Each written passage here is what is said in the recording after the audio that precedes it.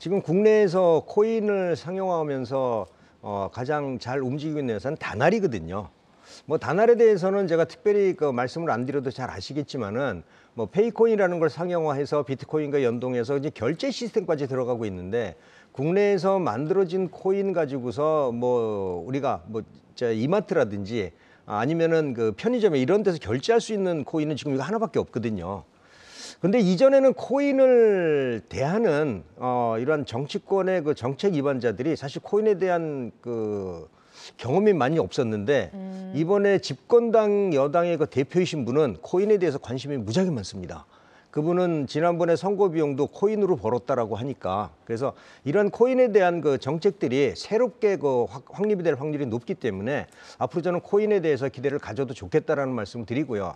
단화를 여러분들한테 선택드린 거는 다른 회사들이 코인을 만들면서 시장에서 결제 시스템까지 연결하려면 시간이 굉장히 오래 걸리는데 이 회사는 다 구축이 돼 있는 상태예요. 그래서 아마 코인 그 정, 정부에서 코인에 대해서 어떤 그 지원 정책이나 확대 정책을 사용할 때 가장 먼저 수혜를 볼수 있는 종목이다라는 점을 말씀드리고 싶습니다.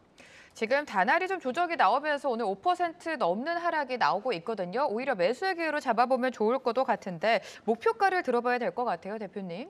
네, 일차적으로 네. 오늘 뭐 조정을 받고 있습니다. 이전에 많이 좀 올랐었죠. 그러니까 그거 기대치가 반영됐는데 지금의 기대치는 앞으로 실적이 좀 좋아 실적이 좀 많이 좋아졌거든요. 2021년도에 그리고 나서 정부 정책의 수혜까지 받는다면은 아마 제가 봐서는 이전 고점 부근은 충분히 돌파하겠다라고 보고요. 저는 어, 전체적으로 목표가를 15,000원 이 이전 고점 부근이니까 아마 15,000원 요 정도 부근까지는 충분히 반등이 가능하다라고 보고요. 그다음에 지지 이탈을 한다면은 만 원인데 아, 최근에 움직임을 여기서 바닥을 한 2개월 이상 다졌기 때문에 쉽게 하락할 것 같지는 않다.